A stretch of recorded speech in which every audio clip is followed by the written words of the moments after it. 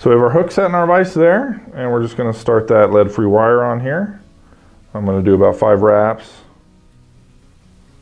for this pattern. Always likes to spin on you, there we go. And we can break that off and push it on up into the bead. Helps to add a little bit of weight in addition to that tungsten bead that we have on there.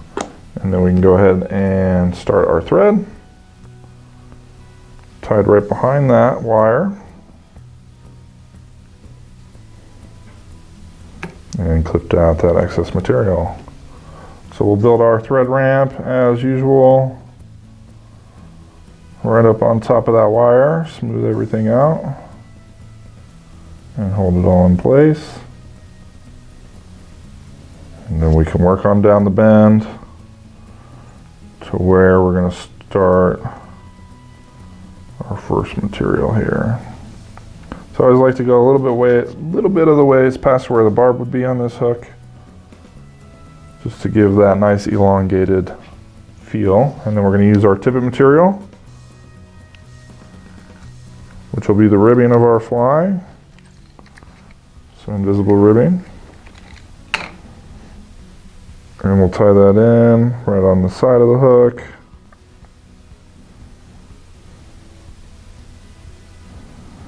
And then we'll work back and we're going to add the cactus chenille next.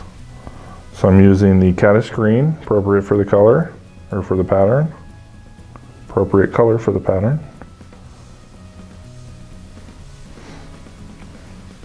And we'll tie that in. I clipped off a lot of that cactusy material, that flashy material, so that I had a nice clean tie-in point here. And then we'll wrap back to where that's going to begin. Take our thread on up, cover up the rest of this material. While working on our taper, and we can jump on top of that wire and just make sure we're happy with how everything is looking so far. We can half hitch out and then wrap that material forward. I'm to go ahead and just touching wraps all the way forward. This material can be a little bit brittle, those flash fibers like to come on out, so I'll usually reposition my hand rather than kind of sliding it down the material to keep it from doing that to me. We'll go up to where we want our thorax to be, which is going to be about a third of the overall length, maybe a little bit less on this fly. It's kind of a leggy region up there on the front.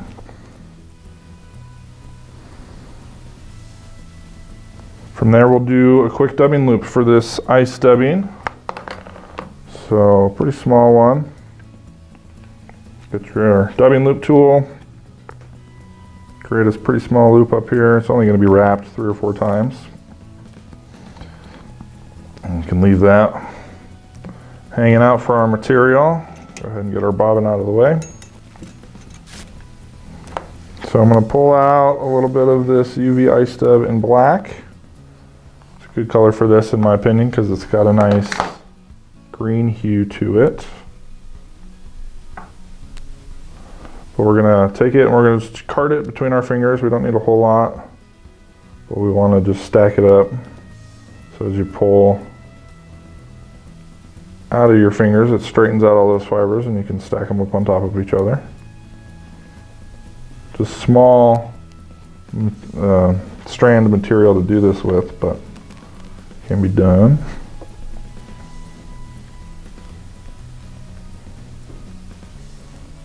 Once we have a fairly decent clump carded there, I'm going to go ahead and trim off the ends, square it out on both sides.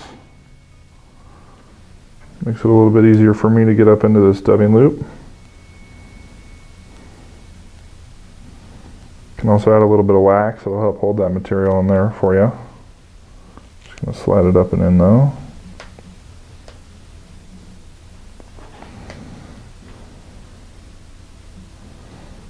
And then we're just going to kind of work it how we want it. So I'm to spread it out slightly. Doesn't need to be too dense.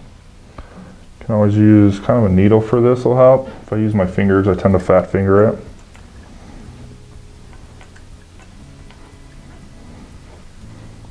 So I'll just kind of pull the fibers down a little bit with a needle or up or whichever way you want them to go.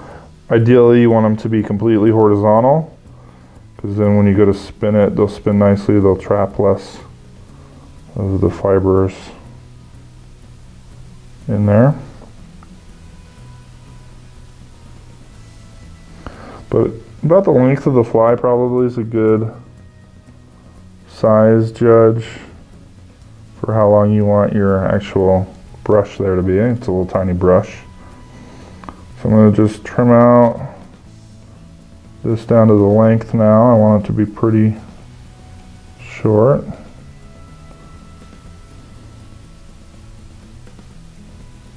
Just like so.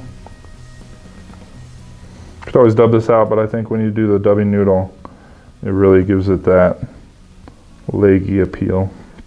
So we'll go ahead and spin our dubbing tool and release it so that it spins that ice dub nicely. Make sure it's nice and tight. And then we got a noodle, or good, yeah, good dubbing noodle to wrap on forward. So we'll go a couple times.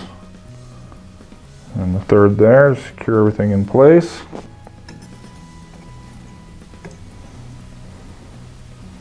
And capture off that thread and clip it out. And then I always like to bring in my dubbing brush and comb it all downward. Because we're going to cover up the top here with some backing material. So the more of those fibers you can kind of get to come down, the better. So the next material is going to be that scud back, the summer duck color.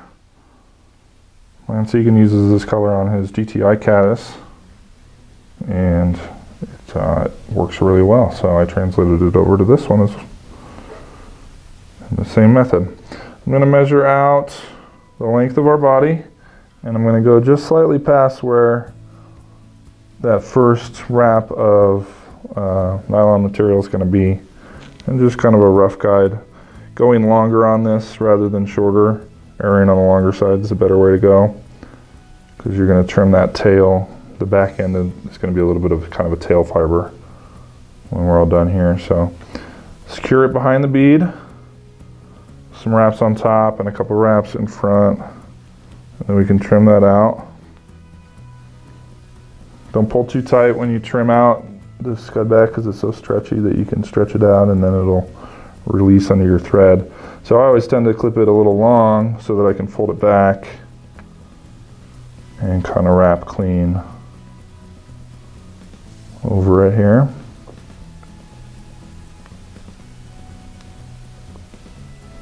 Just like so.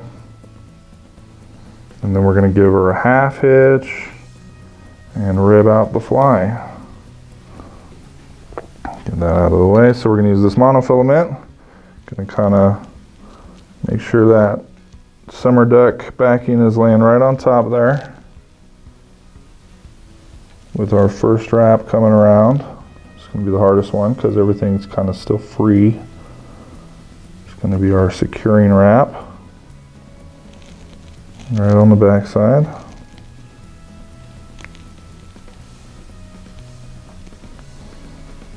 And if we give it one more here, move it around and kind of snug it all in place as we wrap forward. I just kind of pull my legs forward so that as I get closer to them, I'm not trapping them.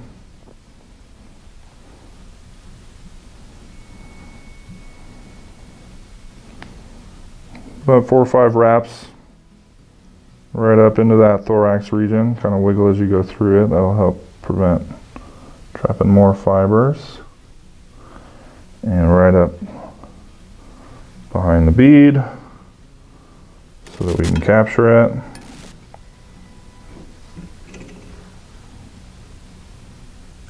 Make sure it's nice and snug there before we clip it out. And then we can whip finish.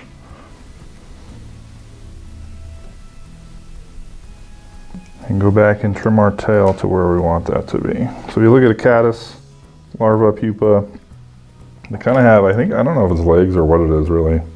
I'm not an entomologist. but they have kind of a little something sticking off the back end. So that's what we're going to try and imitate with this material. I'm just going to kind of pull it out, clip it maybe just about the, the width of what that bead is. And then I always come in and kind of trim it to a point slightly. Just a small little piece of material hanging off as part of this fly.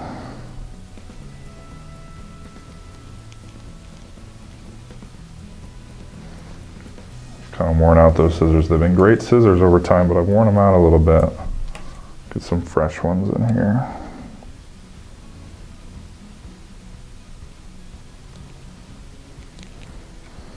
So once we have that tail trimmed, we'll add a little bit of UV finish right on top. Come in with your dubbing brush and get those legs back down and underneath, make sure they're out of the way. And then we'll add just a small layer. Just kind of smooth it out, create a maybe an exoskeleton of sorts on this caddis.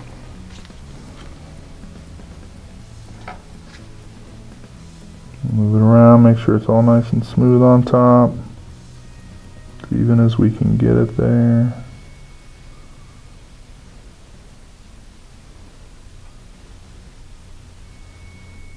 Probably use thin formulas of UV finish the most.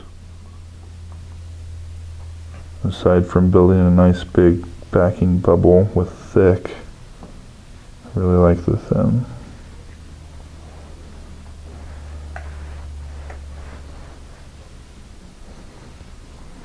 You always flip it upside down to help get a nice smooth body on it. And then hit it with that UV light to cure. You can see that you get that nice green pop out of this caddis green mid chenille, which is a great color. So this is an awesome fly if you fish Euro style or if you fish just standard indicator nymphing, however you like to get your bugs down, this is a great option during the summer months when there's an abundance of caddis. Work well in, in colder months as well if there's, you know, a good caddis population in the rivers. Get it down and you'll get you'll get smacked. They call it the Czech catnip for a reason.